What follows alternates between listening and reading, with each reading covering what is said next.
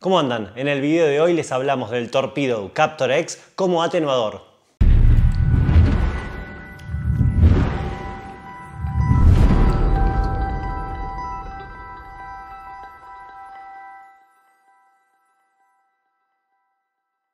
Todos sabemos lo difícil que es hacer sonar algunos amplificadores valvulares, que requieren de mucho volumen para brillar en su máximo esplendor. El Captor X nos soluciona este problema a la perfección, ya que tiene un interruptor de tres posiciones. La primera posición no aplica ningún tipo de atenuación, la posición central te atenúa 20 dB y la posición de abajo de todo atenúa 38 dB para que puedas tocar con un amplificador de 100 watts con el volumen al máximo a un volumen auditivo que sea completamente soportable y que no moleste a tus vecinos. Pero si bien puedes pensar que estos son solamente números, lo que vamos a hacer ahora es escuchar cómo responde el Torpedo Captor X atenuando la señal 38 dB 20 dB o sin atenuación en lo más mínimo. Y vas a escuchar dos ejemplos de audio. Un ejemplo microfoneando nuestra caja 4x12 con un micrófono Sontronics Halo, que es un micrófono dinámico de excelentísima calidad. Y el otro ejemplo de audio va a ser escuchando sonido ambiente tomado por el micrófono que estoy usando yo para hablar en este momento, que es el Wireless Go